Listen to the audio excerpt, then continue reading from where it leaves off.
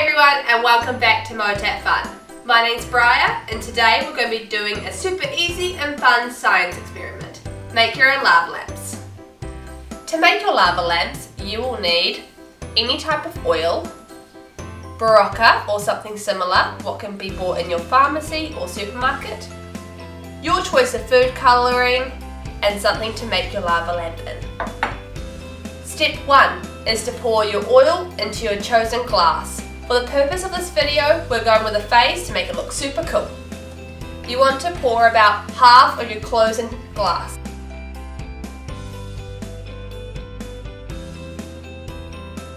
Step 2 is to pour the same amount of water into your glass.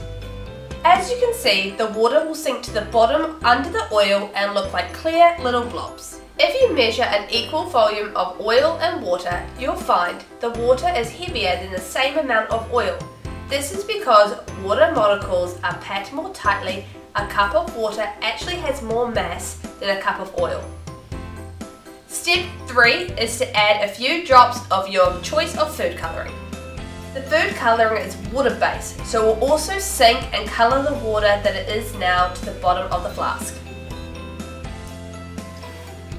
Step 4 is to grab some Berocca tablets and break it into four. You want to add your tablet pieces one at a time and add more as the eruption slows down. Who's ready?